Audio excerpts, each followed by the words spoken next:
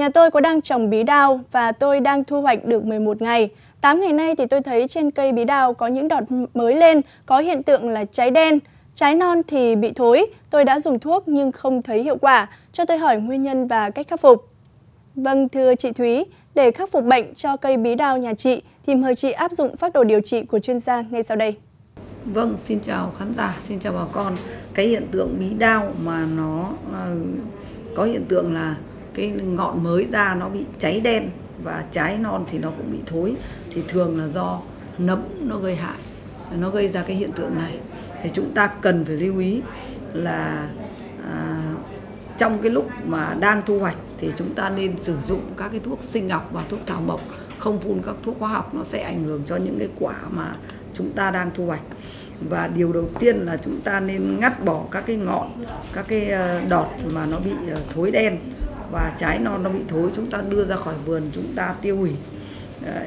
và bác đã dùng à, Anvin hoặc là Mancozeb rồi thì chúng ta không dùng các thuốc này nữa bởi vì các thuốc này có thời gian cách ly à, rất dài ít nhất phải 10 ngày sau mới được thu hoạch mà lúc này đang thu hoạch thì chúng ta có thể à, phun các thuốc sinh học các thuốc thảo mộc nó có thể cũng hạn chế được bệnh nhưng với điều kiện là bác phải tạo cho vườn thông thoáng tránh ẩm ướt à, thì nó sẽ đỡ bị bệnh hơn. Ừ, kết hợp với phun thuốc có hoạt chất như là citrus oil hoặc tổ hợp dầu thực vật hoặc kitosan hoặc polyosin để chúng ta phun à, trừ nấm bệnh cho cây trong lúc này vì lúc này chúng ta đang thu hoạch. Nhưng vẫn phải lưu ý cái thời gian cách ly của các cái thuốc này. Đấy, và à, chúng ta nên à, vệ sinh vườn thu gom toàn bộ những phần bị bệnh nặng. Chúng ta tiêu hủy đưa ra khỏi vườn tiêu hủy tạo cho vườn bí thông thoáng thì nó sẽ đỡ bị bệnh hơn. Nhưng giờ thì trời cao đất thì dày chui thì không chui xuống được. Giờ biết kêu ai giờ chỉ tự mình làm mình chịu chứ. Đúng như đánh bạc là vì làm sao? Đấy như vừa rồi bão rồi nhiều nhà mùa này chúng tôi mất trắng không được đồng nào những vấn đề nóng bỏng của làng quê những kỹ năng và tri thức để phòng vệ những con đường nông dân khởi nghiệp và sự nỗ lực không mệt mỏi. Thông qua kênh VT16, tôi đã tìm hiểu được rất nhiều về những cái phương tiện sản xuất trên lĩnh vực nông nghiệp. Học được nhiều cái, cũng đi lên cũng có nhiều kinh nghiệm trong cái việc trồng trọt. Phân tích, bình luận với các chuyên gia uy tín. Với ta họ rất dễ dãi nhưng mà cái điều đó lại biến chúng ta trở thành sự luống của không chuyên nghiệp. Anh muốn giữ được thương hiệu thì anh phải có chiến lược dài về cái sản phẩm của mình nông nghiệp, nông dân, nông thôn đang chuyển mình như thế nào?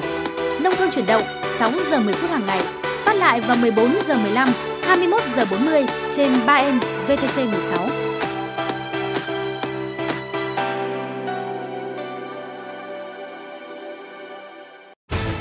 Con giống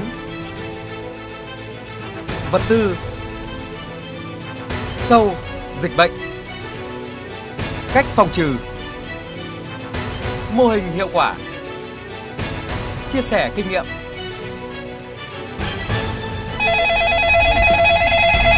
Alo VTC 16 xin nghe ạ Ở đây chuyên gia trả lời cho bác là cây bí đã bị bệnh do virus gây hại ạ Bác đã làm theo các đồ điều trị của chuyên gia chưa ạ? Bác chưa theo dõi được chương trình ạ? Vâng, vậy bây giờ bác có thể chuẩn bị sẵn giấy bút ạ Cháu sẽ đọc lại lời tư vấn của chuyên gia cho bác ngay bây giờ ạ Mọi vướng mắc của bà con trong quá trình sản xuất nông nghiệp sẽ được các chuyên gia uy tín trong ngành tư vấn, giải đáp. Tổng đài tư vấn nông nghiệp 1900 6145 luôn sát cánh cùng nông dân Việt Nam.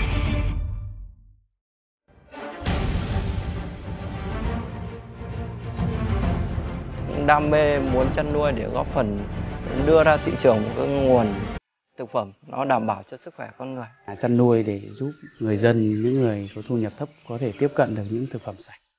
Chắc chắn tất cả các sản phẩm được sản xuất ra từ khởi nghiệp sẽ là sản phẩm sạch. Từ khi bắt đầu kế hoạch sản xuất, nhìn cái cơ sở chăn nuôi nó quá sộc sạch. Đi vào đến cái khu trang trại này là rất khó khăn. Muốn nuôi cá thì không có vịt ở đây. Khi nhập giống Bám về này ra, đừng có bám về đấy là lật xe đấy Thầy vẫn quá thầy ạ Này mà không tâm huyết, bỏ chương trình mất Cái này là cái sai lầm cơ bản của nông dân Cứ nghĩ vườn tốt, cây tốt Chọn cây đó làm giống là là sai lầm trong suốt quá trình sản xuất. Vườn này năm ngoái là thiếu kali này.